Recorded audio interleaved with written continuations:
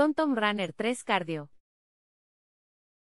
Tras casi un año con este reloj puedo decir que es muy fiable en rara ocasión ha perdido la señal GPS. Respecto a la conexión Bluetooth con cascos no me ha dado problemas ninguno siendo unos cascos económicos. Tiene un soporte respecto al software bastante bueno teniendo actualizaciones cada 3 o 4 meses mejorando algún defecto que pueda tener ahora lo malo. La correa se rompió a los nueve meses que es cierto que lo uso bastante pero nueve meses no sé yo eso si tengo una muñeca pequeña, y pille la talla L ahora tengo una correa talla S, y se ajusta mejor espero que me dure más. También tendrían que mejorar la parte de la medición del sueño que en mi opinión te da muy poca información esta es mi opinión el uso que le doy es de running, natación y crossfit.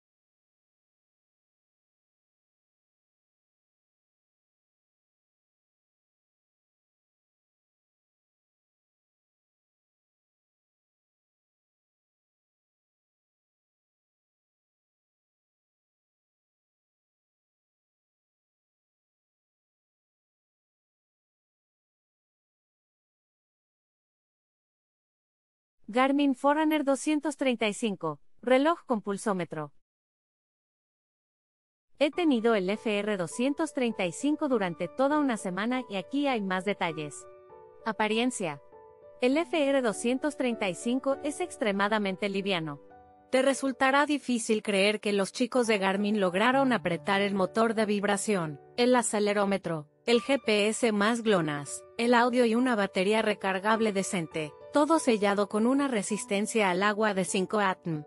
El cable de carga es de propiedad, y cuenta con un diseño de abrazadera que termina con un extremo USB. Me encanta la gran pantalla que realmente resalta la belleza en las caras personalizadas que puedes encontrar en Garmin Connectic.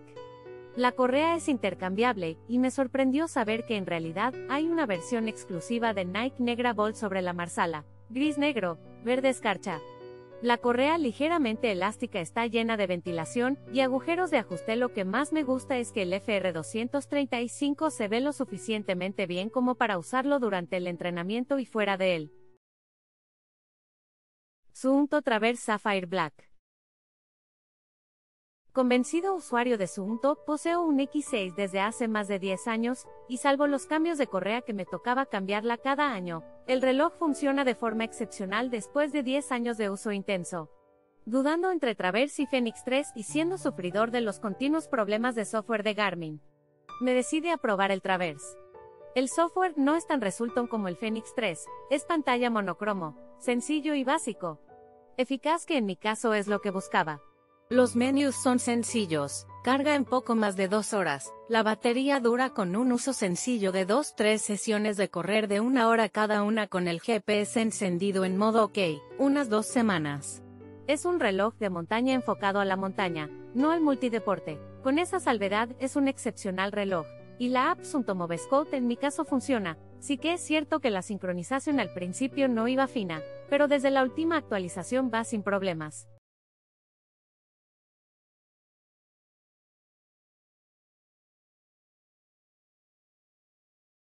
Polar V800 Black HR. Reloj.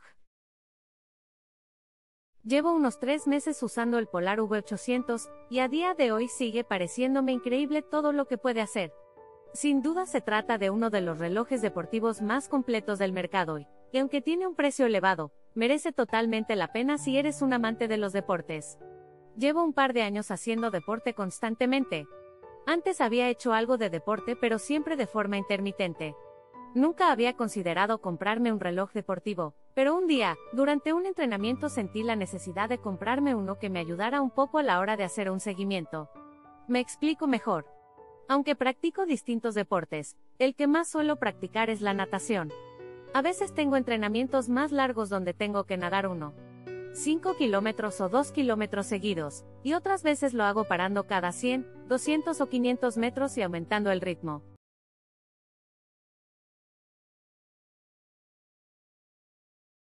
Polar M400, reloj de entrenamiento. El producto nos pareció genial, es verdad que hemos leído varios comentarios que nos echaban un poco para atrás, pero son más los buenos comentarios que los malos, por cual finalmente nos hemos decidido a comprarlo y no nos arrepentimos, mucho mucho mejor que la descripción. El envío súper rápido y por el precio la verdad es que está súper bien.